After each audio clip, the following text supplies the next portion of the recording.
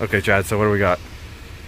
Uh, codes for ignition coil. But it's an 05 Toyota Tundra. oh yeah. you know that?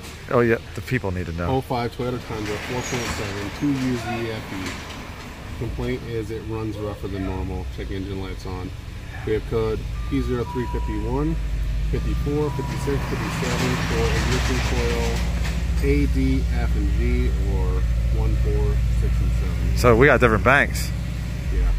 So that's exciting. But it feels like one cylinder is misfiring. Okay, That's do, we- do we have for. misfire data? I don't know. I think these get misfire data. Yeah, they have misfired data. Oh, I hear it. Sounds like the helicopter that flew over. Yeah.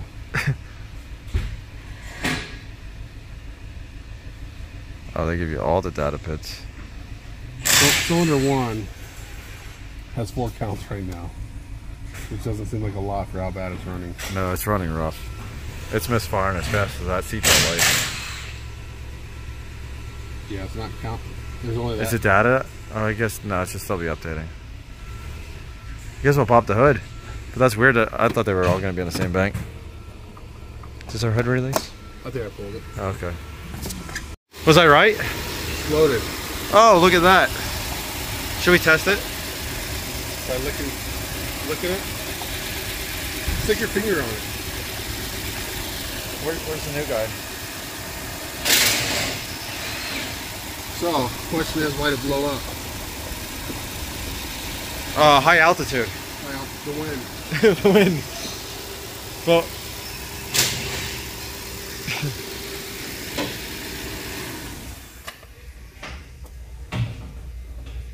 Chad.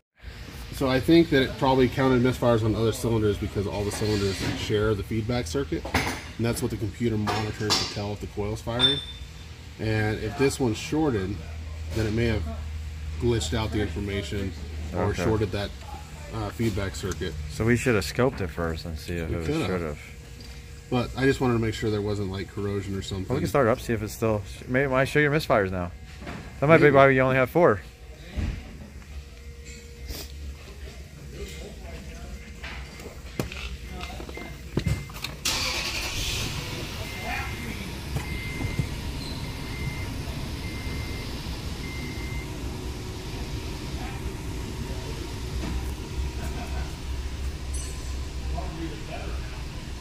So we counted two on number one.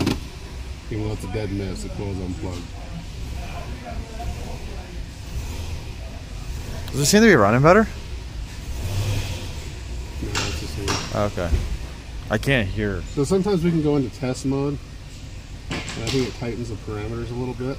Okay. On check mode.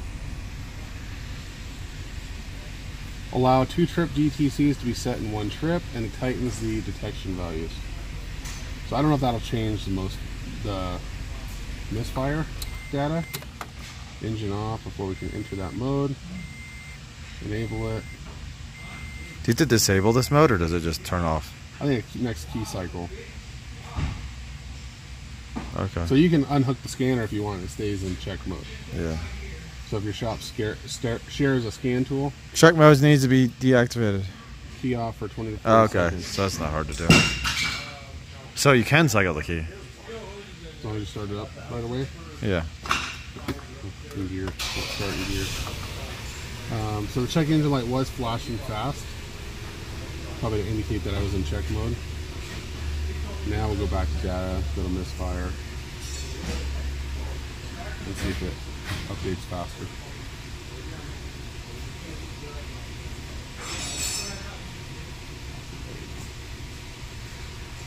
So we got one more. Yeah, it's not- Okay, so misfire. counting it any faster, even though it was Misfire does not work. Maybe we should scope it to see if that circuit's down since we had multiple circuits. Oh, can you clear the codes? We can clear the codes, see if that other ones come back up.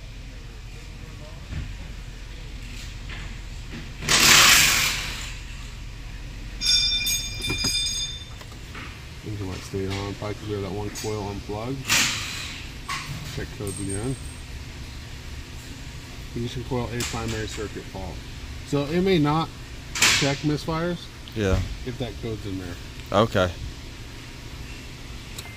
Interesting. So we need a coil. We do need a coil.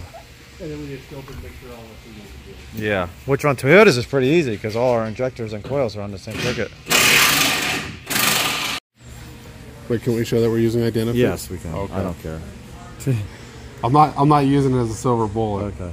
So Chad looked up on Identifix and they said that if the IGF circuit shorted, Yeah. they can cause multiple Ignition coil. ignition coil faults.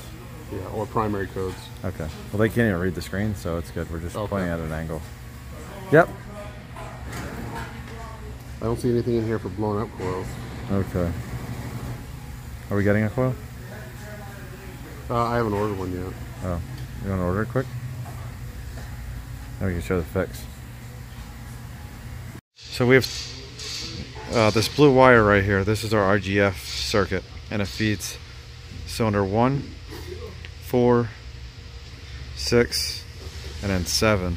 So we follow this over 23 and 24. They come over here 23, 24 goes to 34 and 35. And when we come up here, 34 and 35 come down to IGF 1 and 2. Okay. So where's our power feed? It was the, uh... Did I miss it? Oh, here we go. So it's the red, right out the top. the black and red wire. Then it goes to the right, so go down a diagram. So four. Uh, comes over, comes up. Here's your fuse two. Okay, guys. So uh, we put a new coil in. Let's go back. I want to clear this code real quick. Clear code. Okay. It's off. So we got our amp clamp right here. Zeroed. You good? Okay, guys, so we got our amp clamp down here. I don't know where it left off at or if I got it because we're going ran out of space again. So it's around our uh, ignition 2 fuse, I believe. Just turn our key on. Check our codes real quick. Current codes. None. Let's go back. Let's go back. Let's go to data. Uh, misfire. Try to get this quick. Bring up misfire. Here's our misfires to start this up.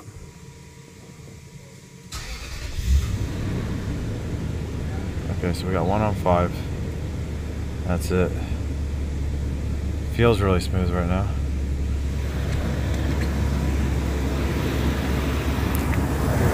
New coil there. Probed into that uh, ignition feedback.